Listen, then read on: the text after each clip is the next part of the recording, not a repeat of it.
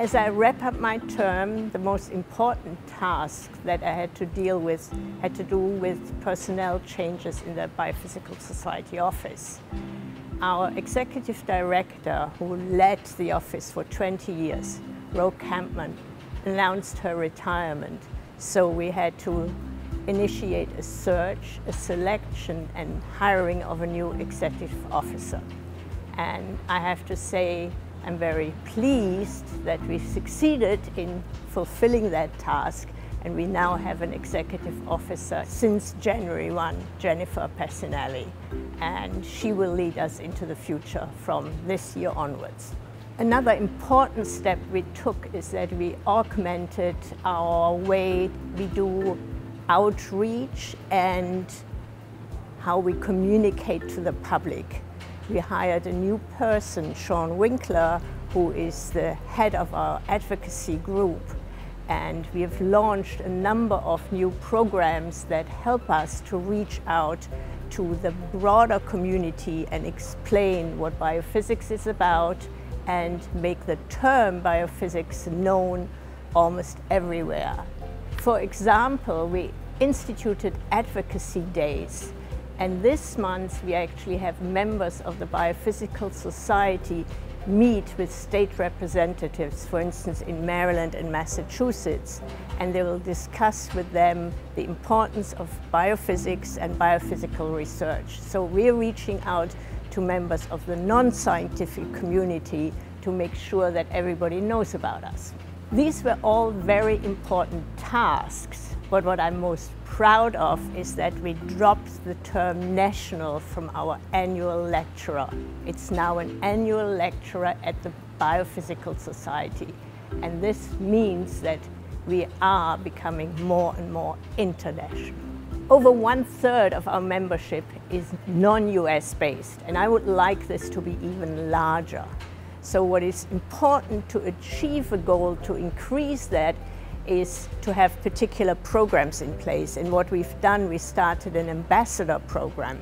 This ambassador program has Biophysical Society members in their own country and they can then use our tools and what we have at, here in the Biophysical Society organization to foster their goals locally.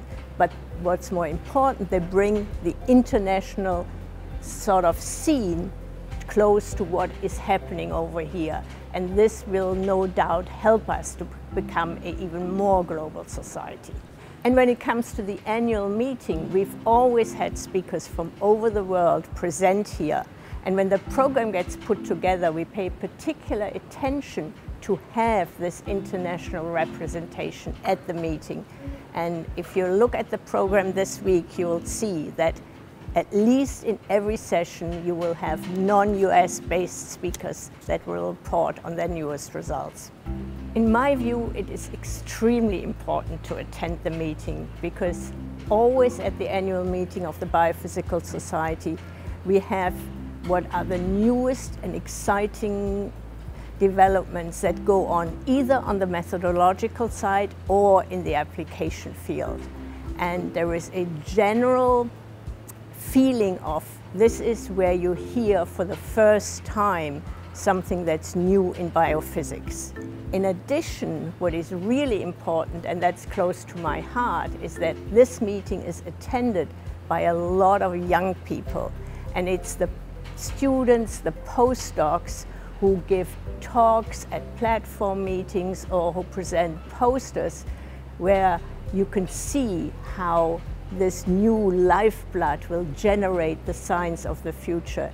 And it gives me particular pleasure to go and talk to the students and postdocs and see them talking with each other.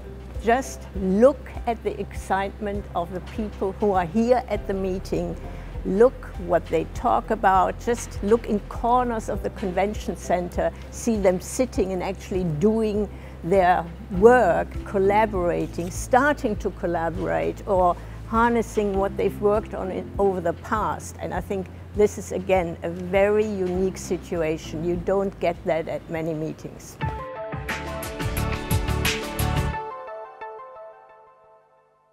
If you want to watch more from the Biophysical Society meeting, check out some of our other videos and don't forget to subscribe.